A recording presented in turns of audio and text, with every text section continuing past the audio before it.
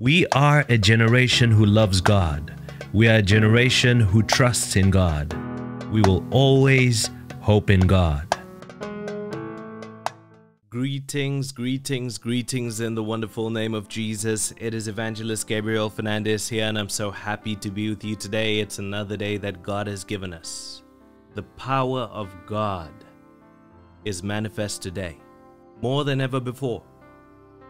We are seeing a change in the lives of many people around the world, and it is amazing. It is a change that only God can bring a spiritual change for the better. God loves you, my dear friend. And that's something that you should never doubt. And His power is available to all who believe. And our faith should rest on a demonstration of the power of God. This is what I want to talk to you about today. So let us begin by welcoming the Holy Spirit in your own words Let's take a moment to welcome the Holy Spirit. Precious Holy Spirit of God, we welcome you. Come and speak to us today. Teach us something new, something amazing, something wonderful, and lead us closer to Jesus. I ask this in Jesus' name. Amen. My dear friend, the Bible says in the book of 1 Corinthians chapter 2 from verse 1 to verse 5. It says, And I, brethren, when I came to you, came not with excellency of speech or of wisdom, declaring unto you the testimony of God. For I determined not to know anything among you save Jesus Christ and Him crucified. And I was with you in weakness and in fear, and in much trembling. And my speech and my preaching was not with enticing words of man's wisdom, but in demonstration of the Spirit and of power, that your faith should not stand in the wisdom of men, but in the power of God. My dear friend, I want to start by saying many people they are looking for fancy, eloquent words. They are looking for a fancy and eloquent message with very big words that they don't understand. And they think that because that is fancy and eloquent, they think that is from God. They are looking for something that sounds so complicated and something that is so magnificent in words and sounding. And because of that, they think it is from God. I tell you, my dear friend, many people miss the greatest spiritual blessings because they're looking for a complex solution to find them. When actually they are attained in the most simplest manner.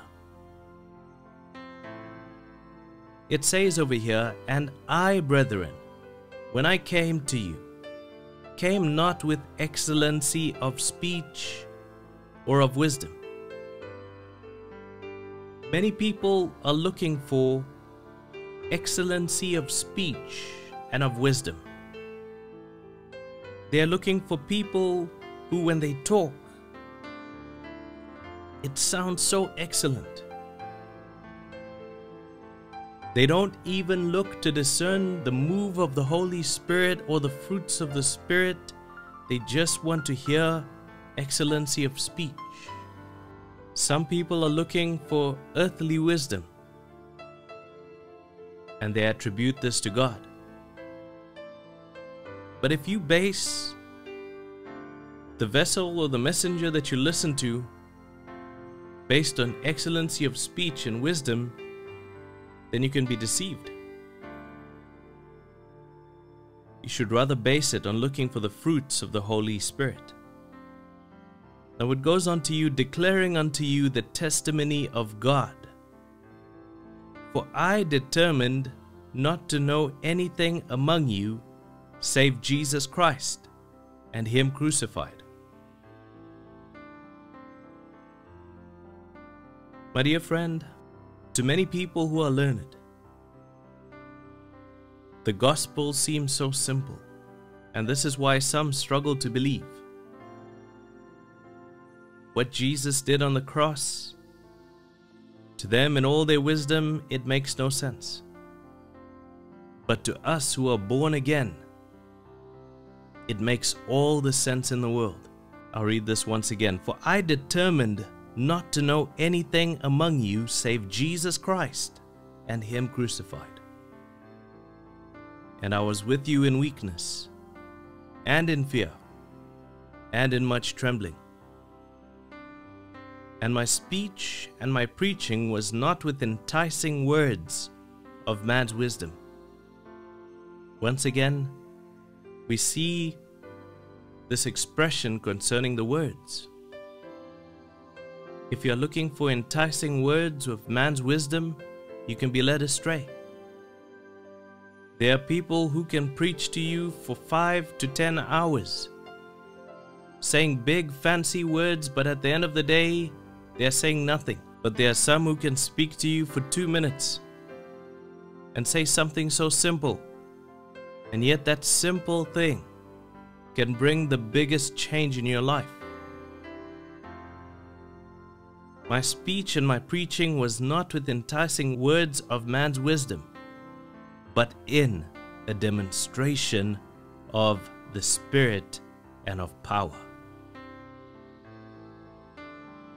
The Holy Spirit of God is moving today. He is touching people today. He is changing lives today. We have seen it happen. We have seen miracle after miracle. We have seen signs, wonders, and miracles. We have seen testimonies. God is moving today. You don't need to look for enticing words that are empty of God.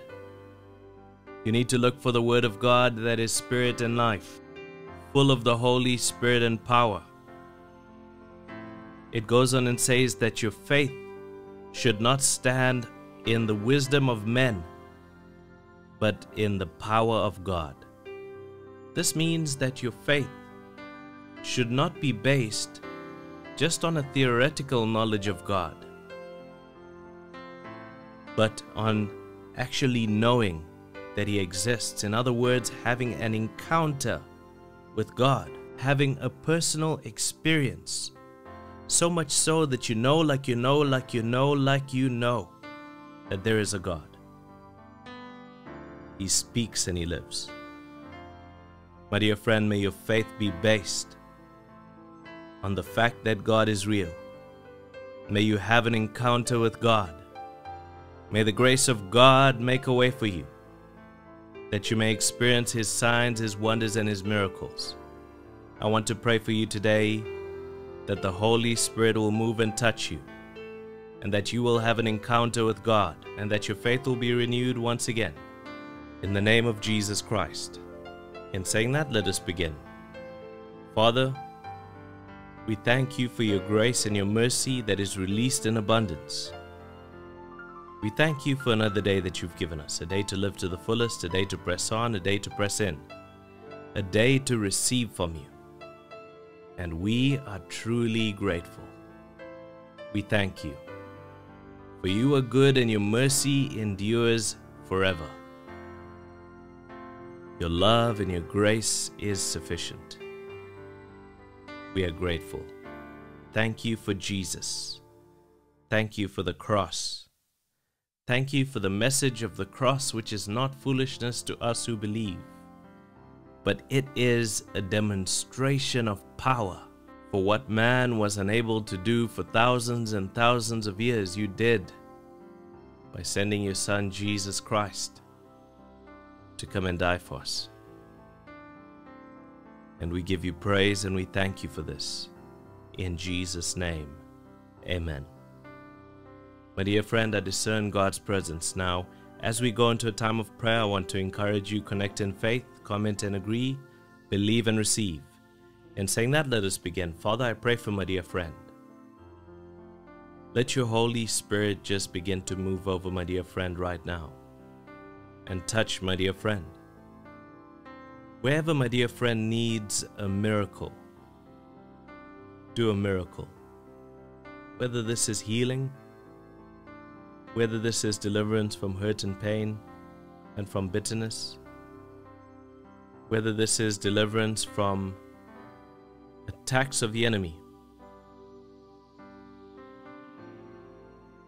bring deliverance in my dear friend's life. Move over, my dear friend.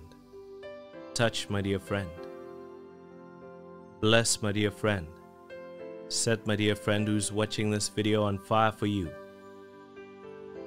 So on fire that they will never give up, they will never give in. And let my dear friend's faith be based on a demonstration of your power. In other words, let my dear friends' faith be based on a divine and true encounter with you. I ask this in Jesus' name, and I thank you for it, Lord. Amen and amen. My dear friend, we've come to the end of this message. Until next time, from myself, Evangelist Gabriel Fernandes, God bless you and goodbye. Thank you for watching. If you were blessed by this video and you would like to support us to keep making content like this, you can do so via PayPal or Patreon. The links are provided in the description. God bless you and goodbye.